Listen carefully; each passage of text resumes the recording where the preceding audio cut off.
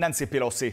أعلنت عدم سعيها مجددا لقيادة الحزب الديمقراطي بالكونغرس الأمريكي ما فتح الباب أمام الطامحين لخلافتها.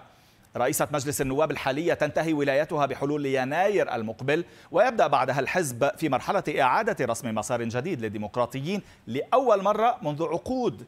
المسار الجديد سيبدأ مع تراجع أول ثلاث قيادات برلمانية. نانسي بيلوسي وأبرز شخصيتين في الكونغرس بعدها.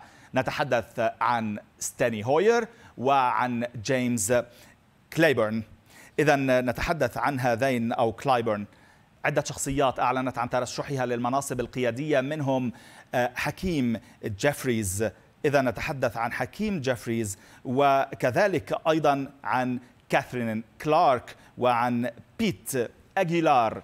هم الذين عبروا عن سعيهم لشغل المناصب القيادية مع رحيل الحرس القديم. المرشحون الثلاثة يتميزون بعمر أصغر من القيادات الحالية فهم أقل من 60 عاما من العمر. أيضا التنوع العرقي والجنسي قد يمثل دعما لهم. حكيم جيفريز مرشح لأن يكون أول شخص من أصول أفريقية في منصب قيادي بالحزبين في أي من مجلسي الكونغرس وأيضا بوجود كاثرين كلارك سيضمن الحزب وجود سيدة في قيادته. أما الطرف الثالث بيت أجيلار سيكون ثاني مشرع من أصل لاتيني يترأس المؤتمر الحزبي إذا تم انتخابه هذا الشهر. واشنطن بوست التقت بأكثر من 20 من أعضاء الكونغرس عن الحزب الديمقراطي وعبروا عن تفاؤلهم بشأن الجيل الجديد من القادة المتوقع أن يتولوا زمام الأمور. عذرا. لكن ظلال نانسي بيلوسي ستبقى فوق القيادة الجديدة. فبحسب الصحيفة يدرك الديمقراطيون في مجلس النواب بأغلبية ساحقة أنه لا يوجد زعيم واحد في الجيل الجديد. يمكن أن يكون بنفس قوة بيلوسي بنفس قدرتها على تحقيق نتائج تشريعية من خلال إقناع الأعضاء. من خلال دفعهم في الاتجاه المطلوب. بدون القبضة المشددة لقيادة بيلوسي يتخوف الحزب من أن يخلق الواقع الجديد سيناريو لا يمكن فيه لأحد التحكم في مطالب الأعضاء. أحد أعضاء الكونغرس الذين تحدثوا إلى واشنطن بوست شريطة عدم الكشف عن اسمه قال إنه إن لم يعش النواب في حالة خوف من رئيس مجلس النواب فربما تخرج الأمور عن السيطرة. هنا كانت أهمية بيلوسي. ويرى العديد من الديمقراطيين أن التغيير مخاطرة ولكن تستحق المجازفة.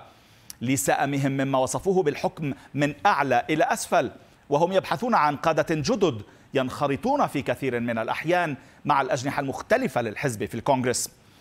الثلاثي القيادي المرتقب في الكونغرس المقبل جيفريز وكلارك وأجيلار قضوا الكثير من الوقت خلال الفترة الماضية في تقوية العلاقات مع أعضاء الحزب واكدوا أنهم سيعتمدون على نقاط القوة لدى بعضهم البعض لتقريب جميع وجهات النظر على طاولة الحوار الداخلي في الحزب.